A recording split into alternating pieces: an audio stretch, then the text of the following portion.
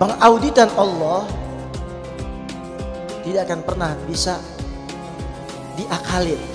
Mungkin KPK sejago-jagonya penyelidik KPK masih bisa diakalin. Tapi kalau Allah yang audit tidak bisa lagi diakal-akalin. Harta halaluhu hisab wa haramuhu adab. Kata baginda Rasul sallallahu alaihi wasallam bahwa harta itu yang halalnya pasti dihisab oleh Allah, pasti diaudit oleh Allah. Wa haramuhu adab. Dan harta yang haram pasti diadab oleh Allah Subhanahu wa taala. Yang halalnya dihisab, yang haramnya pasti diadab. Kemudian dilanjutkan oleh Habibuna Maulana Muhammad. Wa man husiba siapa orang yang dihisap siapa orang yang sudah diaudit di padang mahsyar nanti oleh Allah ugiba. Maka dia sudah mendapatkan siksanya Allah Subhanahu wa taala. Kenapa nanti panjang lagi lama lagi Sedangkan di padang mahsyar begitu dahsyat. Tiada mengetahui berapa jumlah makhluk-makhluk Allah yang berada di padang mahsyar.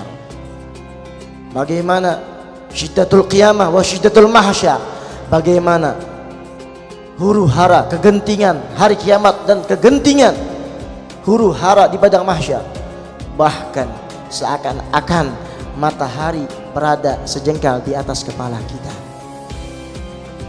Jadi bukan matahari ada sejengkal di atas kepala kita karena sudah kia, kiamat matahari sudah hancur, alam semesta sudah hancur. Seakan-akan dari sangat panasnya, seakan-akan matahari berada sejengkal di atas kepala kita. Lumer kita, lodoh kita, meleleh kita. Begitu lama sudah menunggu jatah penghisaban bergiliran terus menunggu fulan, fulan, fulan, fulan, fulan. Begitu lamanya karena begitu banyak entah berapa juta triliun hamba-hamba Allah dari kalangan manusianya, belum dari kalangan jinnya.